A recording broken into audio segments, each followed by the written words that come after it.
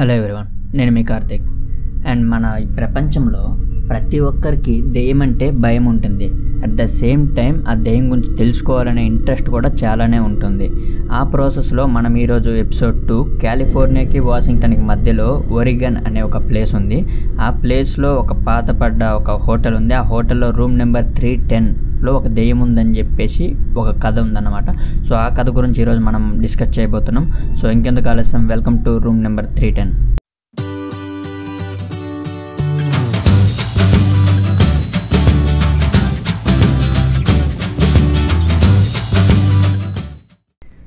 అది పంతొమ్మిది వందల తొంభై ఎనిమిది. ఒక నలభై ఏళ్ళ ఆమె కాలిఫోర్నియా నుంచి వాషింగ్టన్కి ఒక ముఖ్యమైన వర్క్ మీద ఒక- వెళ్ళిందనమాట వెళ్ళిన తర్వాత ఆ వర్క్ అయిపోయిన తర్వాత మళ్ళీ రిటర్న్ వచ్చేటప్పుడు కార్లో వస్తుంది వాషింగ్టన్ నుంచి కాలిఫోర్నియాకి.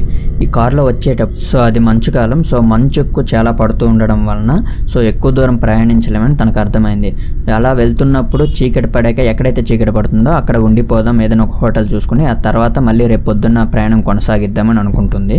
ఇలా వెళ్ళేటప్పుడు ఒరిగన్ అనే ఒక ప్లేస్ వచ్చేసేటప్పటికి ఆ ప్లేస్లో మొత్తం చాలా చీకటి అయిపోతుంది. సో ఆ టైంకి ఒరిగన్ అనే ప్లేస్కి వస్తుంది. అక్కడ చుట్టూ చూసేసరికి ఒక ఒక హోటల్ కనిపిస్తుంది. అది చాలా పాత హోటల్ చాలా పాతకాలం హోటల్లా కనిపించింది. అక్కడికి వెళ్తుంది. వెళ్ళి నాకు ఇలా స్టే- స్టే చేయాలి ఈ నైట్ ఇక్కడ. సో రేపు మార్నింగ్ వెళ్ళిపోతా అని చెప్తుంది అనమాట వాళ్ళు కూడా సరే మేడం మీ డీటెయిల్స్ ఏంటి? మీ లగేజ్ ఏమైనా ఉందా? అని చెప్పేసి చెప్తే సరే నా లగేజ్ కార్లో ఉందనగానే లగేజ్ తీసుకొచ్చారు. అక్కడ రిసెప్షన్ దగ్గర పెట్టారు. సో ఈమె డీటెయిల్స్ అన్ని ఫిల్ చేశారు. ఫిల్ చేసిన తర్వాత అప్పటికి ఈమె చుట్టూ చూస్తుంది. ఆ పాతకాలం ఫోటోలు పాత బొమ్మలు ఇవన్నీ చూసి అని కొంచెం ఒక భయం ఫీల్ అవుతుంది అనమాట ఆ భయం ఫీల్ అయ్యేటప్పుడు ఇంతలో తన స- ఒక సర్వెంట్ని పిలిచాడు ఈ రిసెప్షన్ బాయ్ ఈ సర్వెంట్ మిమ్మల్ని రూమ్కి తీసుకువెళ్తాడు మేడం అని చెప్పారు. ఈ రూమ్ ఏమో థర్డ్ ఫ్లోర్లో ఉంది. సో ఆ సర్వెంట్ కూడా చాలా ముసలోడు చాలా కొంచెం విచిత్రంగా ఉన్నాడు మనిషి. ఆ మనిషిని చూడంగానే కూడా ఈమె కొంచెం భయం పెరిగింది. వీడేంటి ఇలా ఉన్నాడు? ఇతను ఈయన్ను ఈయన్ని చూస్తేనే కొంచెం భయం వేస్తుంది అన్నట్లు.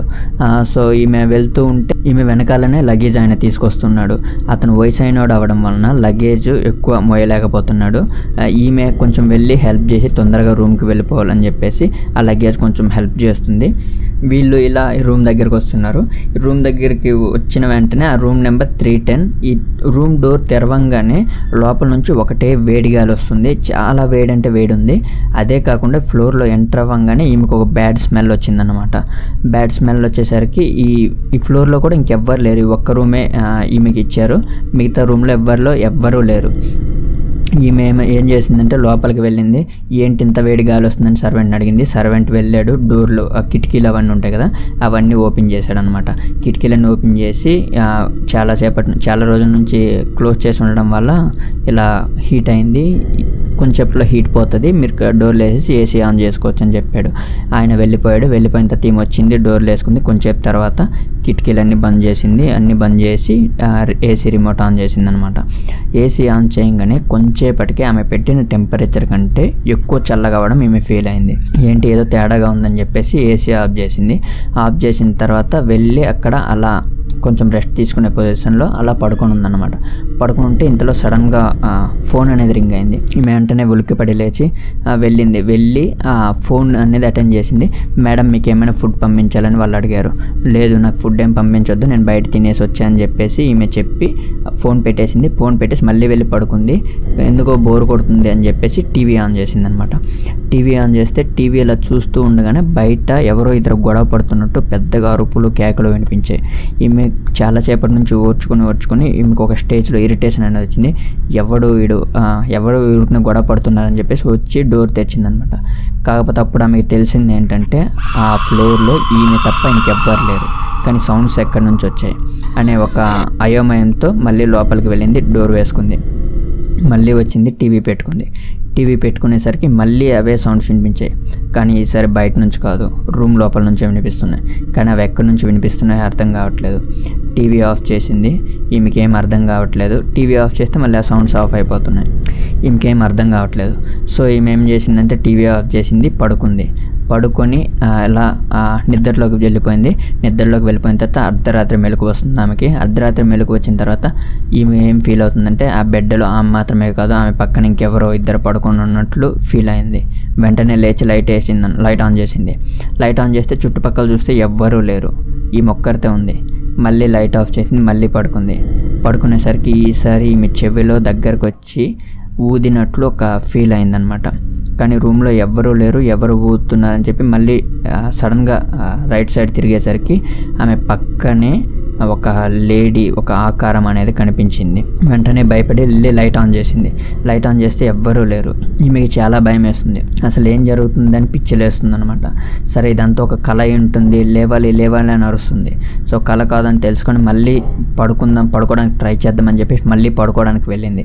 ఈసారి పడుకునేటప్పుడు మళ్ళీ ఒక ఇద్దరు గొడవ పడుతున్న ఒక సౌండ్ వచ్చిందనమాట ఈసారి ఆ, ఈమె బెడ్రూమ్లో ఉంది హాల్లోంచి సౌండ్ వచ్చింది.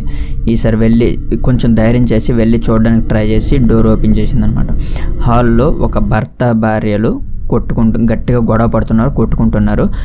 అతని చేతిలో ఒక పెద్ద కర్ర ఉంది. ఈమె వెంటనే చాలా భయం భయపడింది. అసలు రూమ్ డోర్ లాక్ చేసి ఉంది వీళ్ళెవరు లోపలికి ఎలా వచ్చారని చెప్పేసి.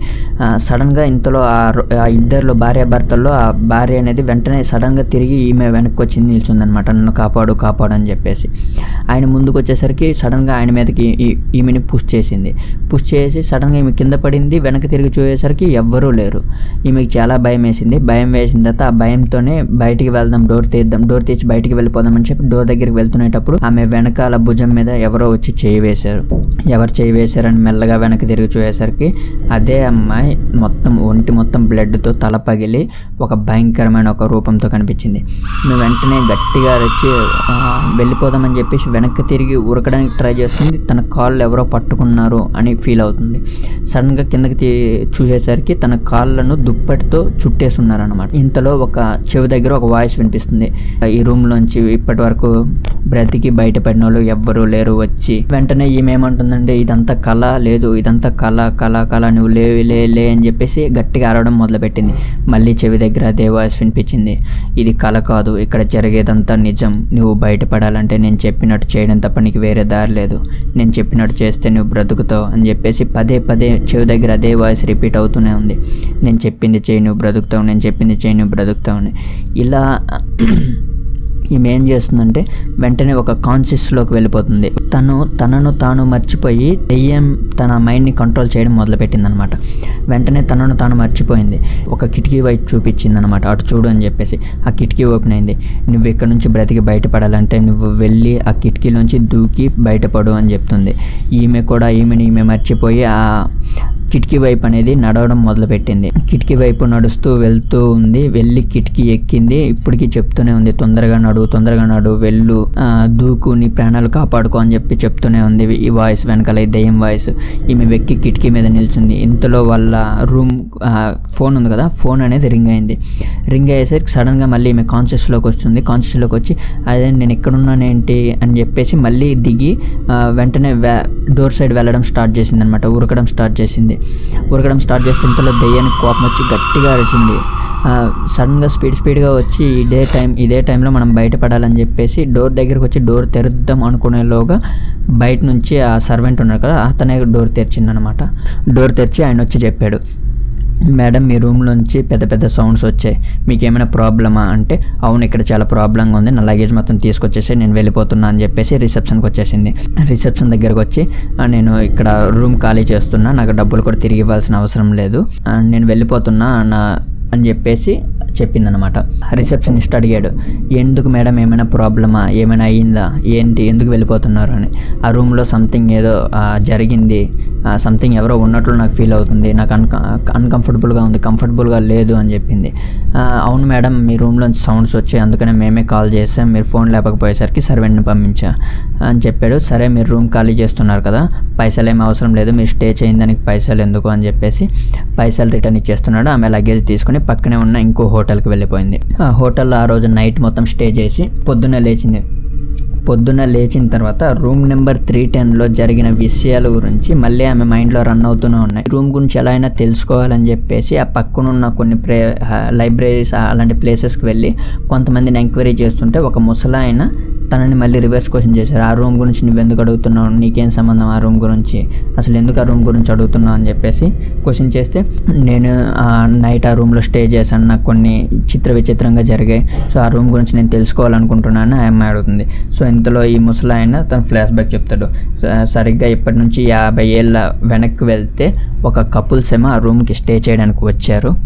వాళ్ళిద్దరేమో mister and missus Oscar Smith అనే పేరుతో రూమ్ తీసుకున్నారు. వీ ఎంగేజ్మెంట్ రింగ్ కూడా ఉంది. సో అక్కడున్న రిసెప్షన్ ఏం చేశాడంటే వీళ్ళిద్దరు కపుల్స్ కావాలి హనీమూన్కి వచ్చారని చెప్పేసి వాళ్ళకి రూమ్ ఇచ్చాడు. సో వీళ్ళు రూమ్కి వెళ్ళిన తర్వాత పెద్ద పెద్ద సౌండ్స్ కేకలు అరుపులు వినిపించాయి. సో వీళ్ళు ఏం డిస్టర్బ్ చేయలేదు. వాళ్ళు కొత్త కపుల్స్ వాళ్ళని ఎందుకు డిస్టర్బ్ చేయడం అని చెప్పేసి ఎవరు డిస్టర్బ్ చేయలేదు వాళ్ళని. కానీ పొద్దున్నే సర్వెంట్ వెళ్ళి చూసేసరికి డోర్స్ ఓపెన్ ఉన్నాయి. డోర్స్ ఓపెన్ ఉంటే మేడం రావచ్చా రావచ్చా అని రెండు మూడు సార్లు అడిగాడు. ఎవరు రెస్పాండ్ అయ్యే అవ్వకపోయేసరికి లోపలికి వెళ్ళాడు అనమాట లోపలికి వెళ్ళి చూస్తే అక్కడ అమ్మాయి మొత్తం బ్లడ్ బ్లడ్ మధ్య మధ్యలో శవమై పడింది చనిపోయి ఉందన్నమాట చనిపోయేసరికి సర్వెంట్ వెంటనే పోలీసులకు ఇన్ఫామ్ చేసి పోలీసులు వచ్చి ఎంక్వైరీ చేశారు. సార్ వాళ్ళ రూమ్ కూడా mister and missus Oscar Smith అనే పేరుతో తీసుకున్నారు. వాళ్ళిద్దరు కపుల్స్ అనుకున్నాం. అందుకని హనీమూన్కి వచ్చారని చెప్పి రూమ్ ఇచ్చాం అని చెప్పాను అనమాట సరే అతనితో ఆమెతో వచ్చిన ఆయన ఏడి అంటే ఆయన బయటికి అయితే పోలేదు. నైట్ టైంలో బయటికి పోలేదు. సీసీటీవీ కెమెరాలు ఎక్కడా రికార్డ్ అవ్వలేదు. అలానే లోపల కూడా లేడు. అతను ఏమయ్యాడో తెలియదు అని చెప్పి చెప్పారనమాట సో ఆ కేసు గురించి ఇప్పటికీ పోలీసులు ఇంకా ఎంక్వైరీ చేస్తూనే ఉన్నారు. అతను ఎవరో ఆమెతో వచ్చింది ఎవరో ఎందుకు ఎలా చంపాడా ఇంకేమైనా జరిగిందా అసలు ఎక్కడికి వెళ్ళాడని ఇన్ఫర్మేషన్ ఎవ్వరికీ తెలియదు. ఇది పంతొమ్మిది వందల నలభై ఎనిమిది ఆ టైంలో జరిగింది. సో అప్పటి నుంచి ఆ రూమ్లకి ఎవరు వెళ్ళినా ఆ అమ్మాయి దెయ్యమై అక్కడే ఉండి తనని చంపడానికి వచ్చారు తనని చంపేస్తున్నారు అని చెప్పేసి తనే తన మీద రివర్స్ అటాక్ చేసి చంపేస్తుంది అని చెప్పేసి ఆ పెద్దని చెప్పాడు. అవును నేను ఆమెను చూశాను నైట్ అందుకనే అడిగాను కొనుక్కుంటున్నాను అని చెప్పేసి ఈ కథ ఇక్కడితో మర్చిపోమ్మా అనవసరంగా మైండ్లో పెట్టుకొని మైండ్ పాడు చేసుకోకు అని చెప్పేసి ఆ పెద్ద అడ్వైస్ ఇచ్చి వెళ్ళిపోయాడు. ఈమె కూడా తర్వాత ఆమె ఆమె ప్లేస్ అయిన కాలిఫోర్నియాకి వచ్చేసింది. తర్వాత ఈ సంఘటన గురించి మెల్లమెల్లగా మర్చిపోవడం స్టార్ట్ చేసింది అనమాట సో ఫ్రెండ్స్ మీరేమనుకుంటున్నారు? రూమ్ నెంబర్ త్రీ టెన్ గురించి. దెయ్యాలు అనేవి నిజంగా ఉన్నాయా లేవా? ఒకవేళ ఉంటే ఎవరైనా చూస్తున్నారా? సో కమెంట్ చేయండి.